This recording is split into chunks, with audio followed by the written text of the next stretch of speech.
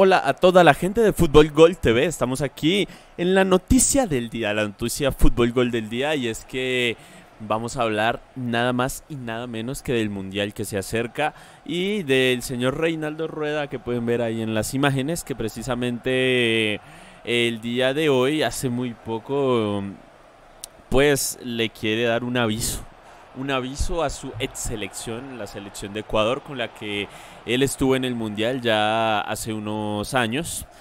Y evidentemente mm, vamos a ver qué dice Reinaldo Rueda. Reinaldo Rueda que estuvo en el ciclo de la selección Colombia para la clasificación a este Mundial de Qatar y no logró la clasificación. Reinaldo Rueda fue uno de los tres entrenadores que participó del conversatorio Experiencias Mundialistas en Medellín junto a Pacho Maturana y Hernán Darío Gómez. En el mismo, el ex entrenador de la selección Colombia de mayores habló sobre lo que espera de la tricolor de Ecuador.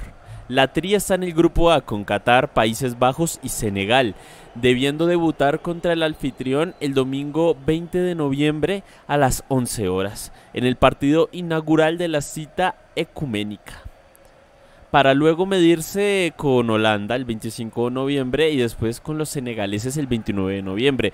Y Rueda le lanzó una gran advertencia a Ecuador que dice, ojo con Qatar, ya lo vimos en la Copa América, es una selección casi que internacional porque tiene muchos jugadores nacionalizados y la localía. Además, ese juego inaugural es siempre muy difícil, asegurando que aspira que como sudamericano Ecuador supere la fase de grupos. Lo necesitamos, apuntó.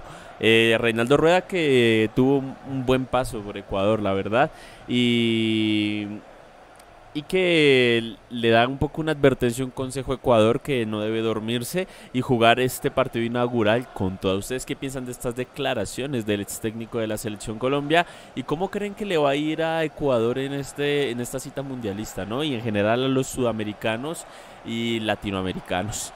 Los esperamos en comentarios y gracias por estar aquí en la noticia del día Fútbol Gold.